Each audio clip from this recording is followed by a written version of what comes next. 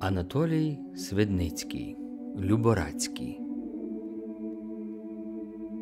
Частина перша, розділ восьмий.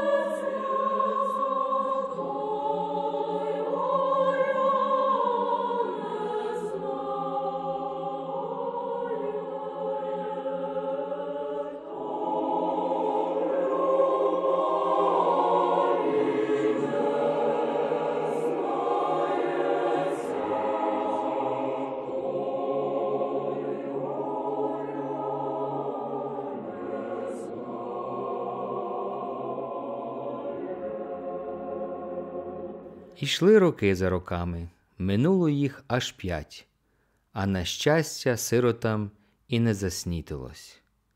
Правда, не бідніли вони, мали і хліба шматок, і голі не ходили, ні босі. Все мали, як ведеться, та талан не в їжі, не в грошах, не в одежі. В сім'ї не було супокою. Ще батько на столі лежав, як Мася почала верховодити, і сам перед загадала жалобу шити. У наших русинів в тій стороні ось яка жалоба. По жінці та по дитині чоловік без шапки ходить з кілька день. Дівчата на знак жалоби не заплітають кіс, а тільки зв'язують волосся ззаду, щоб в очі не падало. Хлопці і дівчата там скільки треба не співають і не танцюють. Мася ж прийняла жалобу католицьку, казала пошить чорну сукню, обшила її білою стяжкою з нацаль ширини. Це була перва додільна одежина в масі. І хто примічав, приказували, що вона не матиме талану свого дівування. Сестра Мася також жалобу посправляла, навіть Антосеві понашивала стяжечки по сіртуці, Щоб оце вигадувати, почала мати. то воліла дати б ті гроші на молитви. Е, що ви знаєте? Грибнула Мася. Ось ідіть там до печі. Що це ти, доню? То так до матері? А хіба ви себе не пізнаєте? Коли ви моя мати, то я так до матері. Опам'ятайся, що тобі таке? казала мати, Чи ти сповна розуму? Коли ще б і вас такий був? відказала доня. То чого б ви хотіли? А коли не знаєте світові ладу, то не мішайтесь. Бог з тобою, доню. Нічого я тобі не скажу більше. І добре зробите. З тим і розійшлися. Мася робила по-своєму. З цього часу і пішла своїм богом коло всього. Все з ляхами та з ляхами водилася, все їздила по костьолах та по кляшторах, до своєї ж церкви і носа не показувала, хіба на Різдво та на Великдень, і то з польською книжкою в руках. І не молитись, а показатись. Вбиралась, як павич. Останню краплю крові, як то кажуть, тягла з матері та все садила на крами. Що було б на чотирьох, то на одну йшло. І ходила, погойдуючись та підківками поцокуючи. І ніколи й за холодну воду не бралась. З матері останні поти лються, а доня каже. На тебе попадя. Чим то ти будеш? Що смієшся з попаді? Волію бути шинкаркою, а попадею ні за що. Ей, доню, будеш плакати на свій дурний розум. Аби ви не плакали, а за мене не журіться. Як ви не бачили більше печі та коцюби, то думаєте, що тільки й світа, що в вікні. Я вже виросла з цих. Дай тобі, Боже, щоб ти добра дійшла. О, яка ж богомільна. подумала Мася. А мати пішла, згадуючи свого татуня, як то покійні розказували, що як зближиться Антихрист, то встане мати на дочку, а дочка на матір свою. Оце ж. Каже, І моя доня так. верховодила Мася над матір'ю, та й сестрам доставалось. Вони були їй за наймичок. Всюди ними попихалась, а сама, як панія, тільки погукує. А це, Подай, а те, принеси, а те, зроби, а туди піди. Чому ж сама не піде? Не смій і рот роззявити. Так зразу і зацабанить, або ще й поб'є добре, аби лиш подужала. Кому кому, а теклі доставалось. Та й піде плачучи, скаржиться. а Мася б'ється. То мати й прийде. Чого ти, дочко, б'єшся? Тільки чуєш, що скарги на тебе. Нехай свиня знає своє стіло. відкаже Мася. Що ж ти таке? Чи ти в мене не така дочка? Ні, не така. каже Мася. Ей, доню, ну ну, догуляєшся ти з своїм розумом. І піде. А Мася дума. Чого б точитись у цій попаді? Отам корпалася, коли має в чим. Та ні же. Всюди їй треба. То-то вилаю колись, аж чорти сміятимуться. Вона все поляськи балакала. Не можна сказати, щоб вона і зла була. Ніт, тільки така горда та пишна і себе так високо ставила, що всі проти її, як горошина проти скали якої. Тим вона і верховодила, тим і не слухала нікого, що себе мала за найрозумнішу. Одна тільки Печержинська, де в чим була розумніша за Масю. Та й то, як роздумається, то й вона ні по чому, Дурна каже. і Печержинська. І всі дурні. Ось воно як повинно бути, а не он як. І губу Мася мала виправлену, що які вже витресовані оті скарбові підпанки, що якби не вмів брехати, та ще й гладко, то не мав би й рубця на плечах, не то сорочки. І тих Мася в шуршу заганяла. Не смій і рот роззявити, бо напечеш раків на день і три ночі. Справна була, ніхто з нею не справлявся. Та й не думав, бо не почувався в силі. Чи осміять кого, чи розказати що, тільки подай, та всі аж за боки беруться. І загорділа вона, не знала не Бога, що не туди до щастя дорога, куди люди справляють, а куди доля поведе. Раз сиділа Мася у себе в хаті, сама втішалась і других потішала. Два ляхи цілували її в руки, третій, як цуцик, служив перед нею. А була половина курсу, і саме жнива. Може, кому не відомо, що то половина курсу. Ось що. В духовних школах в кожнім класі треба сидіти два роки. То як рік пройшов уже, а ще рік остався, то й вийде, що була половина курсу. Благослови, значить, іще мали рік вчитись, нім матимуть право на попів святитися. Богослови опівкурса, хто заможнішого батька син, вже їздять чи не натрапить де на суджену. А був поблизу від Солодьків панотець Собацький і мав сина Івана в богословії. То цей і шатнув по селах і заїхав до Люборацьких. Сказано, семінариста, ані сісти не вміє, ні вклонитись, ні слова до ладу сказати, нічого. Все вимучать, все видушать. Як побачить панянку, то аж острах його візьме. І сказав би, і боїться, приступив би і не сміє. Поїхать такому між дівчата, то рівно з головою. І Собальщенко не поїхав би, та його батько був оскількось літ благочинником, то всі сусідські паноці були йому знакомі, а в Люборацьких він таки не раз був. Ще й за життя покійного отця Гервасія. От і приїхав пан Богослов.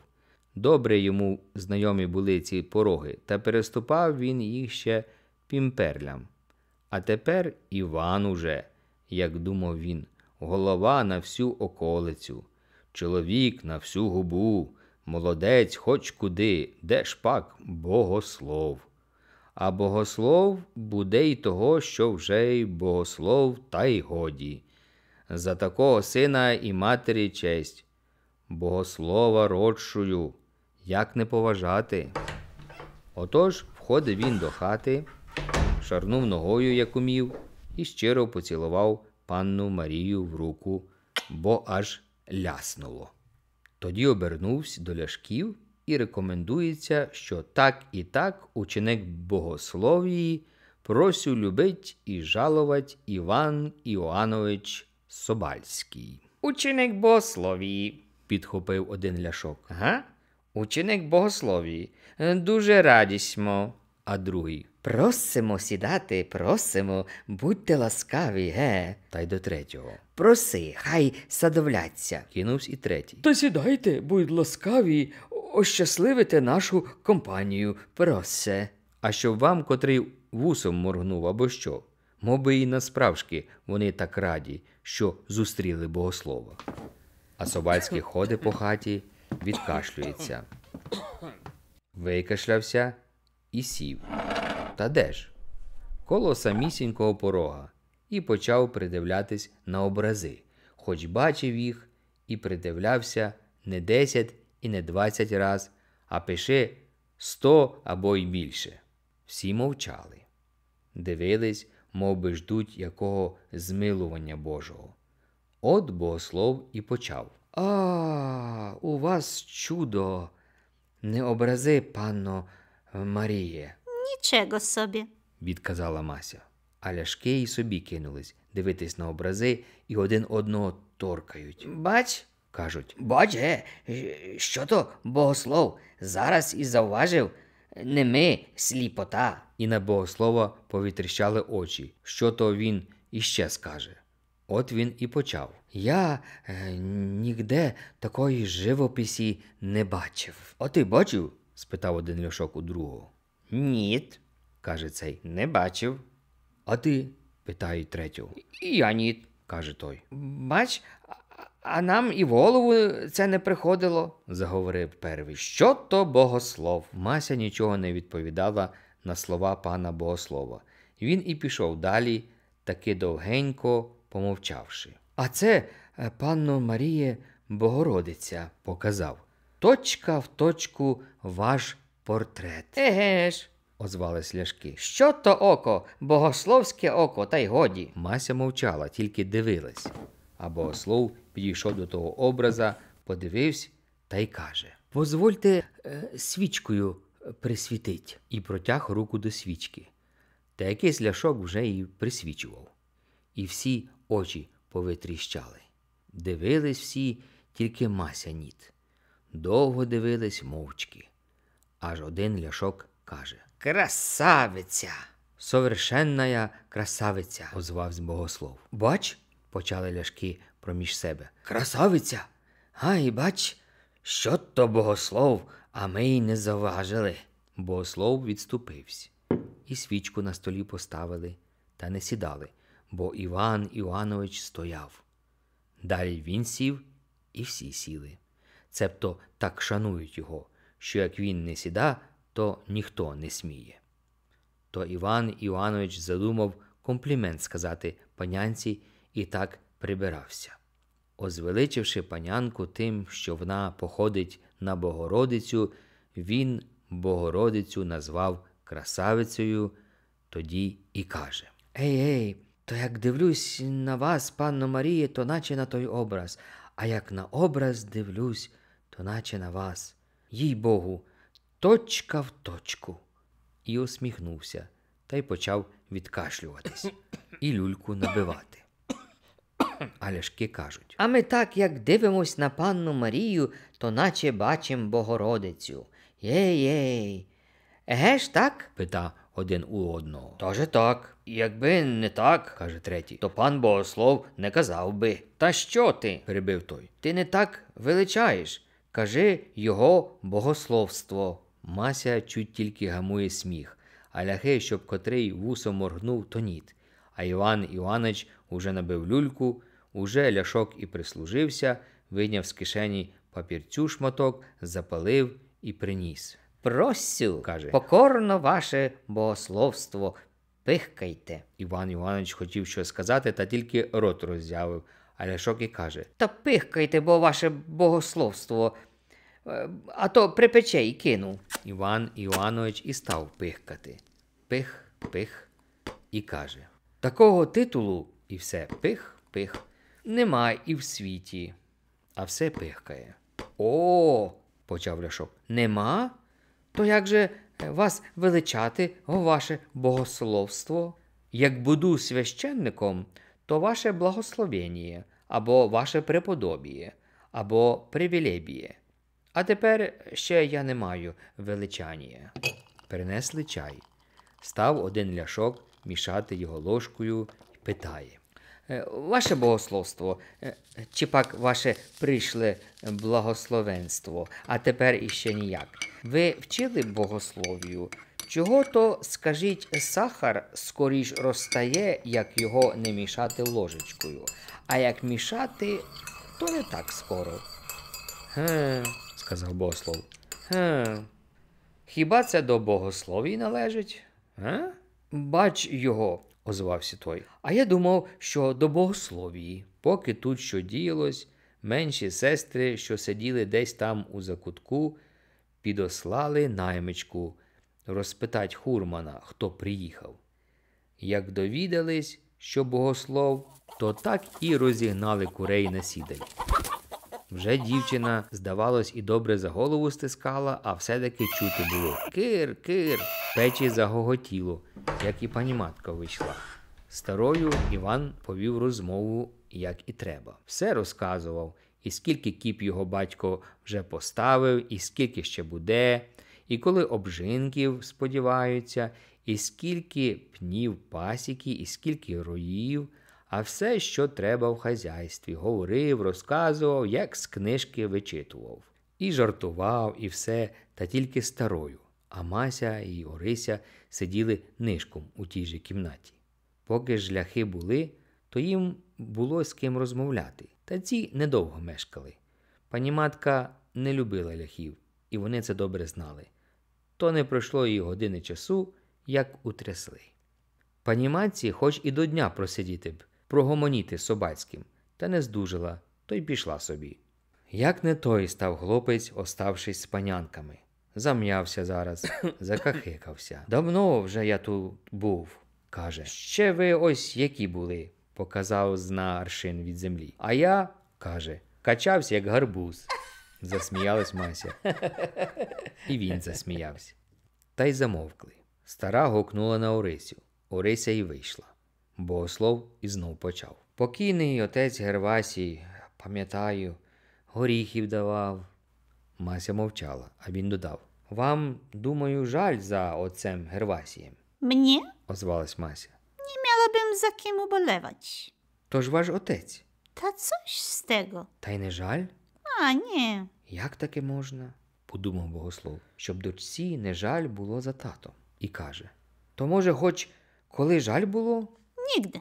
Не сказав він нічого на цю штуку і почав люльку набивати. Довго так то мовчали вони, то розпочинали розмову і на двох-трьох словах кінчали, і знов мовчали.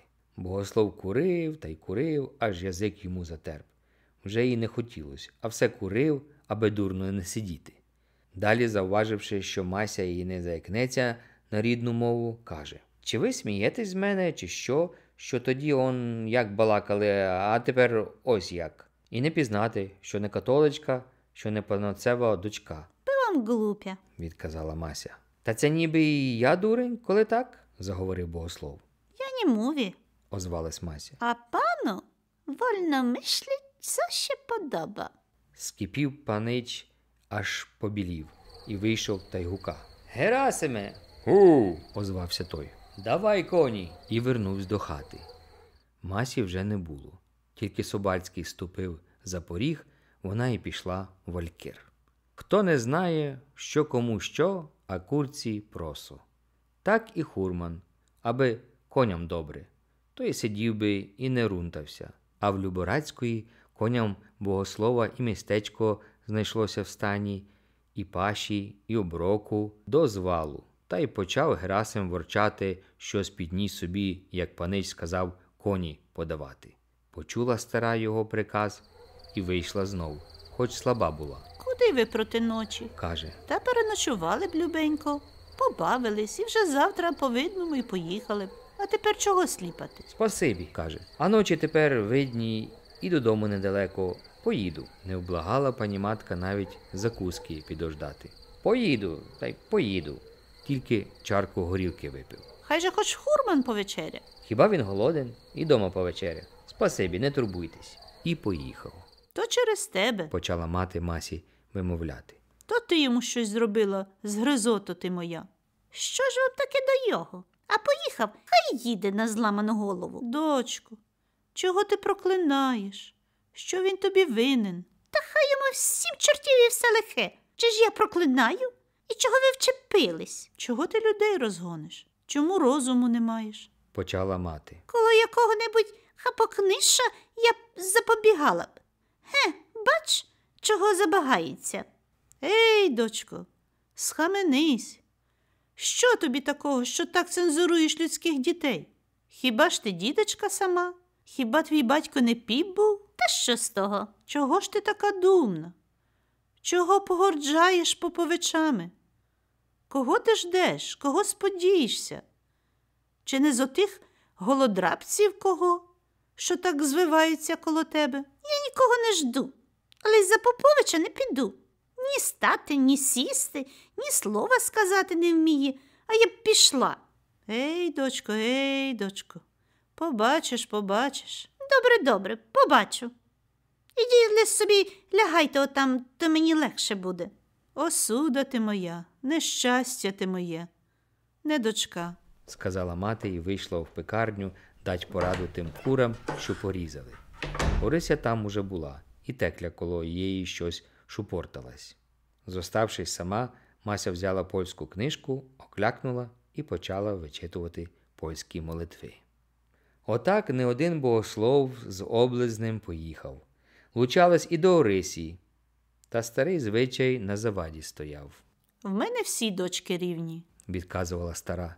На вибір їх не маю. Коли хочете, беріть старшу. Та старшої ніхто не хотів, і вона ні за кого не хотіла. Та за неї і Орися сиділа. Людські дочки вже діточками батькам своїм кланялись, а сироти сидять та й сидять, ніхто й не крюкне. Ще поки Мася молодша була, то хоч вередлива була, та не осудлива. А як стукнуло вже за двадцять, то ту осудила, ту очорнила, ту обговорила. У людей сусіди бувають добрі, добрим чоловіком прислужаться, а тут всі відцурались, всі відстрахались. Мало що терном не зросла колись бита доріженька до отця Гервасія. Один одним духовник отець Антоній їх не цурався і доріженьку протирав. Цей було приїде тугу розважити. А що, пані маточко? Каже, І вам лихо, і в мене не тихо. Притопчім же біду кляту черевиками, бо я і в черевиках же ходю. Та що вам за біда? Ви вже далі далі онучат дружитимете, а в мене ще діти мої сиріточки на в'язах висять. Не тужіть, пані матінко. Якось то воно буде. Коли б мені хоч тих безчасниць притулити, а і сам собі дорогу проб'є. Над сиротою Бог скалитою, приказують люди. озвався отець Антоній. Не тужіть. Коли б він милосердний хоч нашого вікарого підняв, що лежить недуж. А як вкоротить йому віку, то я тоді зовсім пропаща. Не тужіть, моліться. Може, дасть Бог, що і куца вивезе. Це тоді вже ділось, як в селі таки добре громада загула. Вікарій був немощний, то мало не за кожною требою мусили вдаватись до сусідських попів. А чужий панотець, як чужий пан, як дерне, то аж пальці знати. От і загула громада. Що воно таке? Хіба ми не такі люди, як і всі? Хіба в нас церква не гарна, щоб свого панотця не мати? Подаваймо супліку до архірея, що прислав нам попа хоч якого такого. Хоч такого, що і під носом йому не світає, доки ж нам бідувати. І частувала пані матка, і просила, нічого не помоглось. Як і благочинник заїхав, став говоряти. Якби ми бачили, Відказали йому. що хоч яка надія є, то що іншої, а так, доки нам ждати. Та може, який сироті Бог долю пошле? каже благочинник. Ге, хіба це сироти, як у людей? Ось, придивіться, що виробляють. Не всі, а старша. Чимало до їх людей траплялось, а коли не хоче за попа, то хай же не заважає, хай з дороги вступається, бо викидаємо. Та майте Бога в серці, згадайте отця Гервасія, який він добрий був для вас, а ви для його сиріт такі нелюдяні, то його кості здригнуться. Ми вже, паноченьку, пошанували пам'ять покійного батюшки. Дивіться самі, п'ять літ терпимо, то доки ж нам не мати голови в селі. Подамо супліку, хай дають нам паноця. Підождіть ще й з місяць, може дасть Бог і сиротам, і вам. Ну, ще місяць пождемо, однак тепер роботи надходять. А там, о, Бог свідок, що подамо е, супліку до архірея, таки до самого архірея. А до жнив, він кажуть, і в нас буде, Та буде ж. от нам і на руку. Благочинний добре знав, що жениха не знайдеться, бо всі знали Масю, а мав надію, що архірей своєю властю скаже кому женитись, то хто-небудь і втопить свою голову. А оправившись там, пішов паніматку вговоряти, щоб не зважала на старшу, а як лучаться люди до меншої, хай з рук не спускає. Тим часом написали до архірея просьбу, щоб жениха прислав. Дивне це діло. Дівчата просять пришліть нам жениха. А вдивишся, то нічого дивного нема. Хто топиться і за бритву вхопиться. А попів нам сто раз лучше втопитись, аніж зостаться дівочити при матері вдовиці. І мати пропаща, і діти зведуться ні на що. Безнадія і розум одіймає, і серце, і вийду з них не дівчата, а клоча, не людина, а пшик, без волі, без всього, тільки й знає, що на Бога звертати, чи гріх, чи сором, все Божа воля. Свою недолю вони дуже добре знають, і не одна безщасниця мати просила і просить жениха для свого дитяти, бо їсти нічого, не одна безщасниця попівна за тим же для себе і своєю персоною з'являється до архірея, та не одна й буде з'являтись, нім здогадаються, що вони не щенята, нім подивляться на них людяним оком. Вона плаче, що сором, а архірей каже Слезно просіла. і просили якого бідолаху, що ні кола, ні двора, ні роду, ні плоду, то і встрягне, де і покажуть, а там п'є, п'є, аж за вухами лється. Або трапиться, який урви голова, що знущатиметься цілий вік. Найбільш посилають тих, кого ніхто не хоче, а сирота муси, бо то воля владики. У Люборацької був брат панотець, людина добра і на розум йому не збувало. От він і каже: Що ж, сестро, не штука випросити в архірея богослова, та силою колодязь копавши, не пить води з його. Чи не лучше було б ось як далі попитати? Я, однак, бездітний, жінку маю добру, спасибі їй, то ось як чи не зробити б. Поїду я до Кам'янця та подам в перевод на вашу парафію. Воно все одно вийде. Зараз дадуть бумагу в семінарію, чи не согласен хто женитись на таких то сиротах, бо на їх приход подається такий-то панотець. Якщо судилась доля, то зветься, а як ні, то честь ваша при вас. Ніхто не скаже, що докучило дівувати. Аж просяться заміж, та не беруть. Ти ж, сестро, знаєш мене, я тобі не стану в кривду. А коли дасть Бог жениха после, то вступлюсь, так і просьбу подам. Вигода, каже, та з цього, що не сяде хто чужий, як не знайдеться охочого. Подумали, подумали та й написали прошення. І отець Яким поїхав до Кам'янця. Не день, не два теріжився отець Яким, нім забриніло перед ним кам'янецьке кладбище, що стоїть верстви за півтора перед підварком, польськими фільварками. Тепер вони ті фільварки подібні до людей, а тоді десь не де дімок стояв. А то порожні місця були. І заїхати ніде було. То отець яким потяг прямо в город і остановився коло самої вітряної брами. Звідсіль почав і діло робити. А з неділі вже й Петра тепер мали жати, пане богослови, що сіяли та й сіяли. Наступив останній екзамен. І вінець або кінець.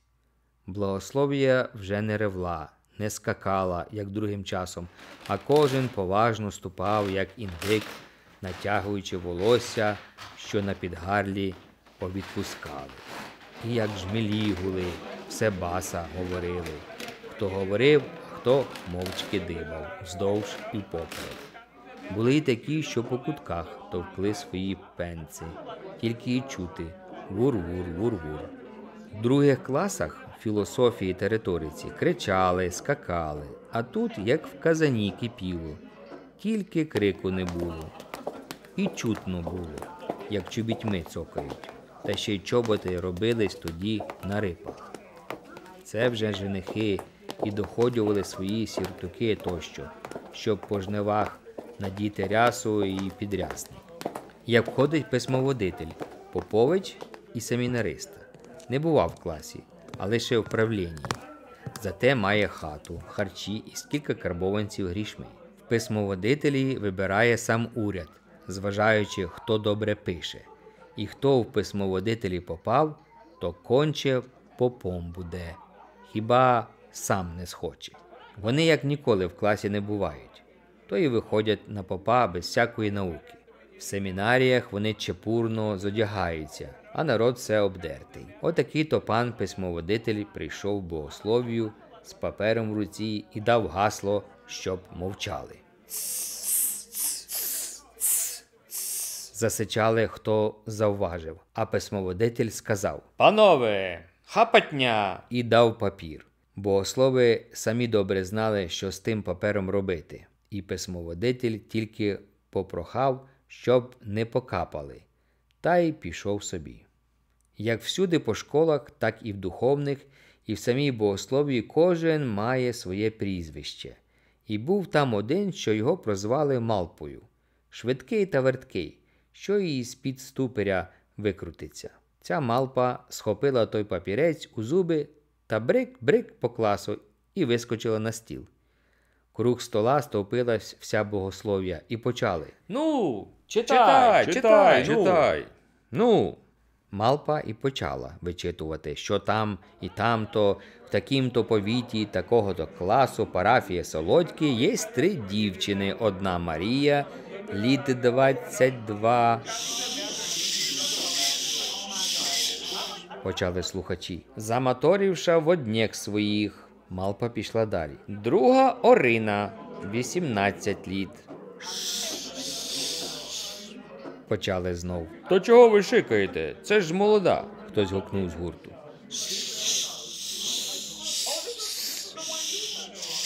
Розійшлось по класу ще гірше. А що має? Що має? Читай. Малпа. Третя, третя, одинадцять літ. А що мають? почали. А Малпа. Все хазяйство і грошей в приказі тисяча карбованців. Якби всі за одною. Можна б руки погріти. Давай лиш папір. кричать з усіх боків. А малпа пішла вихилясом по класі.